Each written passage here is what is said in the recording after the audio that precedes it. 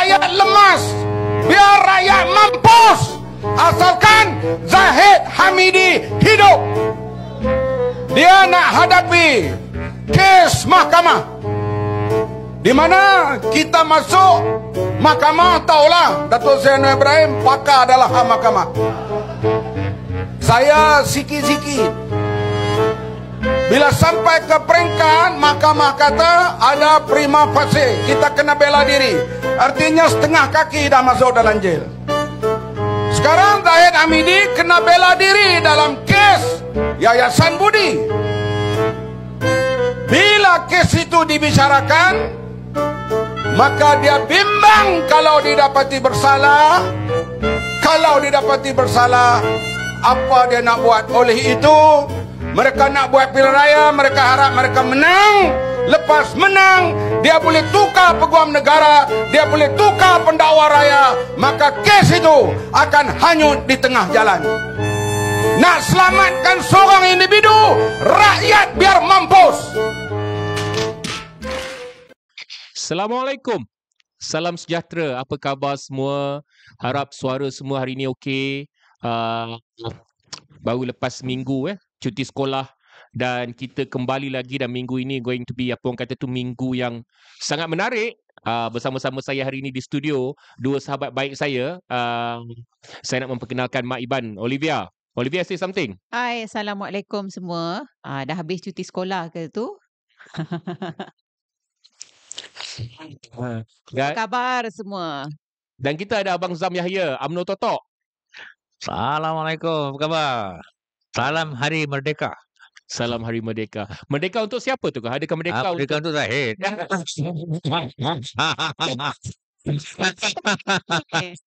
Okey. Ha, hari ini kita dikejutkan. Sebenarnya adakah kita dikejutkan sebenarnya? Tak terkejut langsung lah. Langsung. Langsung tak terkejut. Beruk pun tak terkejut. Saya okey je tapi saya sangat bersyukur lah sebab dia akan memudahkan kerja kita hmm. pada PRU16. Okey.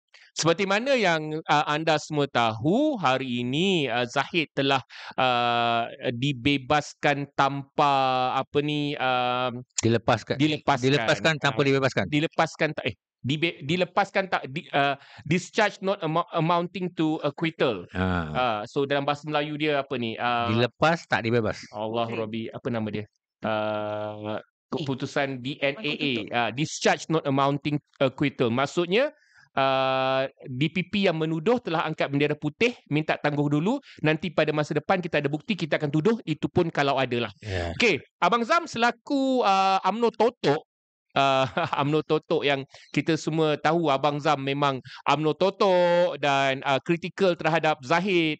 Abang tolong ulas sikit bang, apa yang telah berlaku pada hari ini dan apa uh, pendapat abang tentang segala-galanya yang terjadi hari ini? Oh, saya tadi terbaca dalam sebelum tengah hari, setengah hari tadi ya. Langsung tak terkejut sebab saya dah expect dah. Bila-bila masa saja Zahid akan dilepaskan. Dan uh, mengulas sikit tentang discharge not amounting to acquittal tu, dalam bahasa Melayunya ialah dilepaskan. Mana lepas tapi tak dibebaskan. Maknanya, artinya dari istilah undang-undang, dah dilepaskan tapi bila-bila masa saja boleh dicas eh, sekali atas kesalahan-kesalahan yang sama. Sama.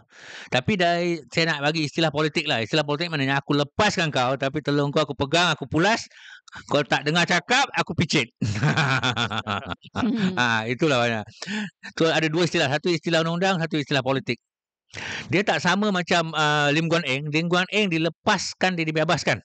Maknanya dia tak boleh dicas lagi sekali. Dan dia berbeza juga dengan Tan Sri Muhyiddin Yassin di mana Tan Sri Muhyiddin Yassin dilepaskan oleh dan dibebaskan ini, uh, oleh hakim yang mengatakan the hujah dia ialah uh, pertuduhan tu hanya me, men, mengeksploitasi menyalahgunakan proses mahkamah.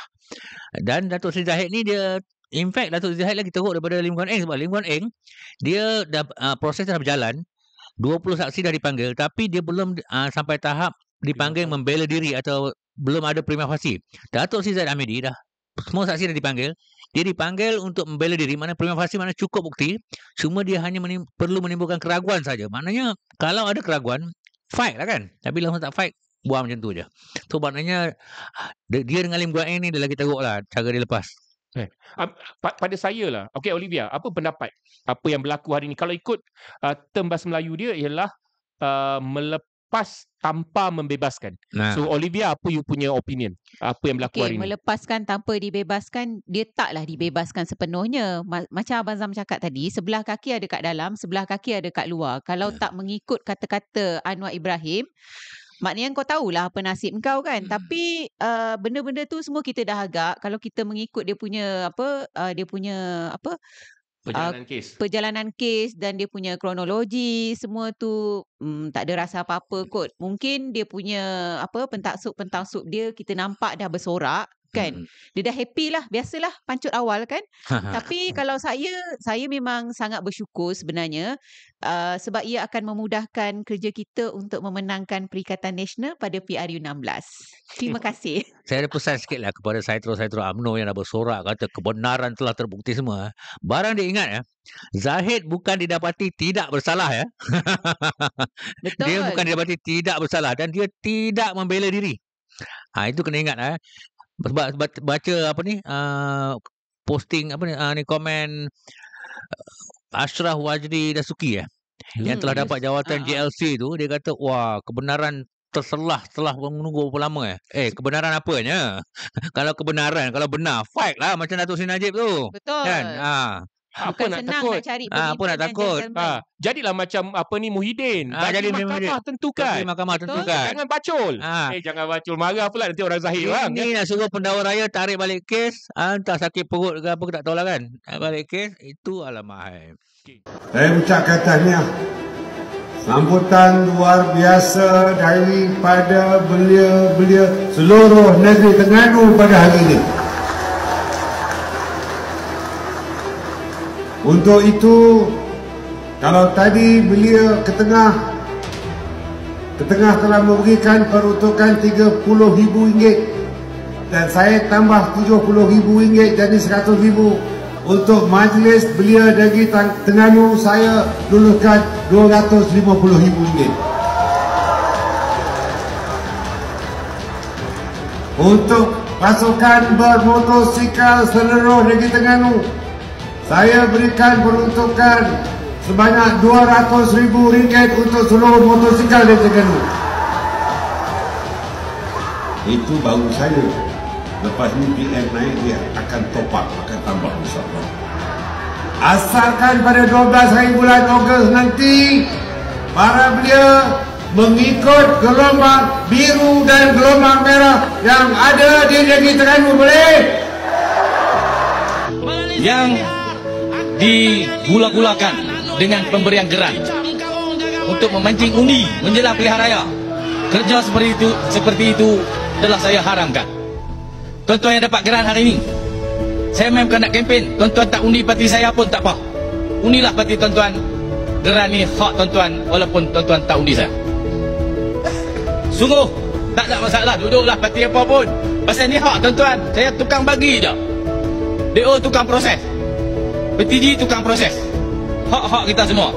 Saya tidak boleh sesekali menggunakan benda-benda ini hak menjadi hak orang untuk buat barter trade. Aku bagi geran hang bagi undi. Tak boleh. Tapi kalau nak bagi alhamdulillah